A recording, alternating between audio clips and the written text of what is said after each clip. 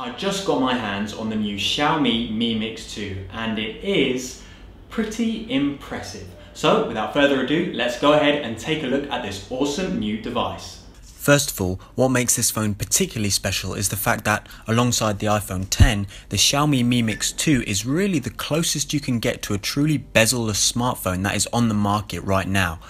There are barely visible bezels along the two sides, a very slim one along the top, and then a slightly larger though still very small bezel along the bottom.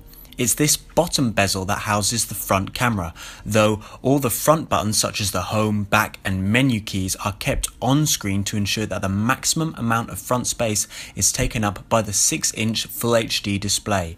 Indeed, there are no physical buttons on the front of this phone whatsoever, with the fingerprint scanner being placed along the back below the rear camera. Speaking of which, although the back is a bit shiny for my taste, another thing that I really do like about the design of this phone is the neat gold edging they've given to the rear camera and the small gold lettering running along the back which blends very well with the design of the phone. The curved edges of the ceramic unibody also match the overall design very well and make the phone feel more comfortable in the hand.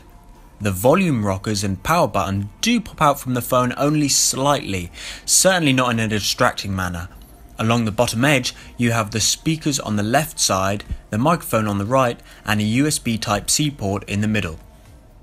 Unfortunately, fans of the audio jack might have to look elsewhere for their new phone since you won't be finding one on the Mi Mix 2.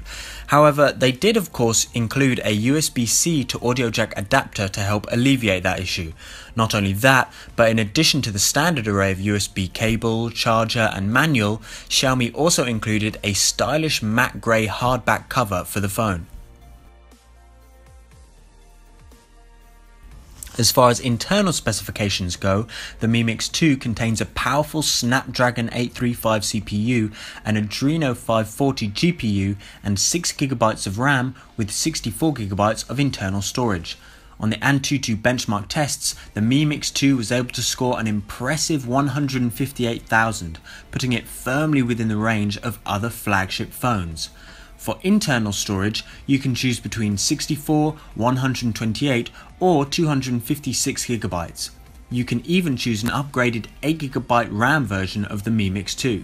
For photo and video shooting, the Mix 2 has a 5 megapixel front camera and a 12 megapixel camera on the back, it's that rear camera that is essentially the same as the Mi 6's primary rear camera. No dual rear cameras here though. However, despite lacking the ability to take true bokeh effect photos, I think you can see from these pictures that the Mi Mix 2 performs very well in photo taking ability.